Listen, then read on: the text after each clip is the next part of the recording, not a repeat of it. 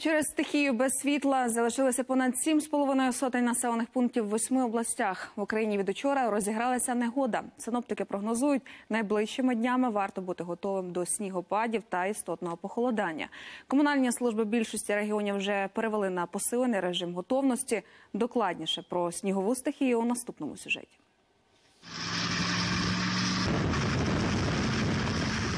Ось так рятувальники витягували автобус зі снігового замету. Напередодні Черкащину засипало мокрим снігом і поливало дощем. Через завірюхи на деяких трасах державного значення обмежили рух вантажівок. Тимчасово скасували і рейси міжміських автобусів. З Канева до Черкас Андрій діставався понад 6 годин. Дорога була буквально завалена вирваними деревами. Там бистренько розрізали, не вибирали, проїжджали швидше.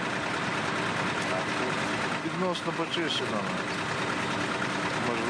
Їхати.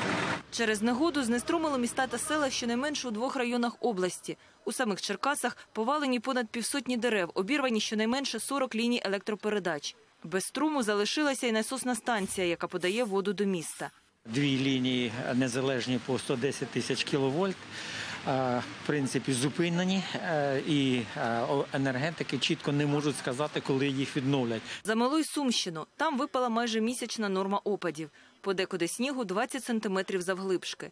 Траси обласного значення дорожники чистили, а от у районних ситуація гірша.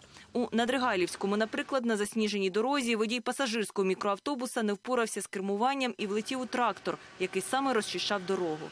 Семеро пасажирів травмовані. На Одещині снігу намело майже по всій області. Десятки водіїв виклали в соцмережі ось таке відео багатокілометрових заторів на трасі Київ-Одеса.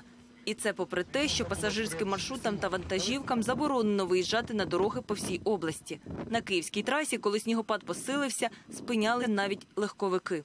Там далі аварійна ситуація, приїхати неможливо і, і повертаємо всіх обратно.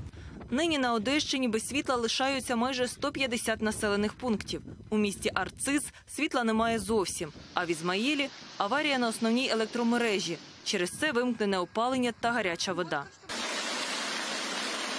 Ліна Зеленська, Андрій Анастасов, Станіслав Кухарчук. Новини телеканал Інтер.